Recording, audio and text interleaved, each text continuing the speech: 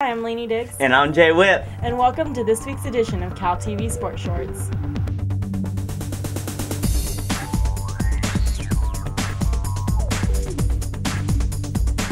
The California women's swim team continues to gain national attention, this time winning 13 of 14 events on Saturday over Oregon State.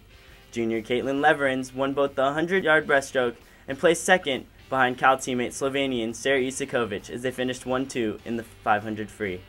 Cal senior Catherine Ratz won both the 200 yard free and the 50 yard free. Caroline Piehl captured two victories of her own as the freshman phenom won both the 200 yard individual medley and the 100 free. The Bears now return home to host Utah in another Pac 12 meet October 21st.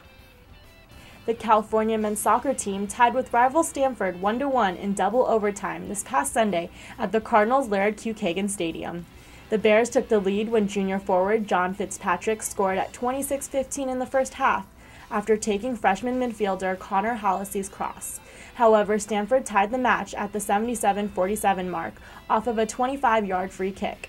Cal's goalie, Robbie Gogatz, made two saves in 110 minutes, while Stanford's goalie saved five. And that brings us to our player to watch. Sophomore redshirt goalkeeper Robbie Gogatz leads the team with 35 saves and a 75 save percentage while starting in all seven games played this season.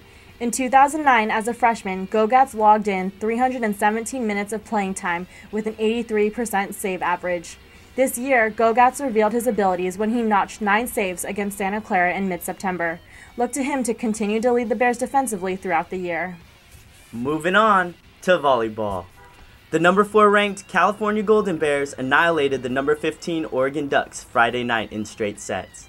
Tarah Murrey led the Cal attack with 19 kills as the Bears won 3 0 in front of a sold out Oregon crowd. The Ducks suffer their second loss to a Pac 12 opponent and fall to 12 3 and 5 2 in conference play.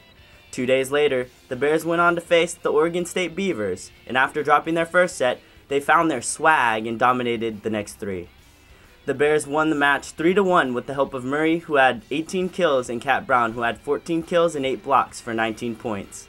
Robin Rostratter showed her agility as she had 23 digs as the Bears hit 252 as a team and completed the sweep of the Oregon schools, improving their record to 17 and 2 and 7 and 2 in the Pac-12. The Bears now prepare to host the number 2 ranked Washington Huskies this Friday.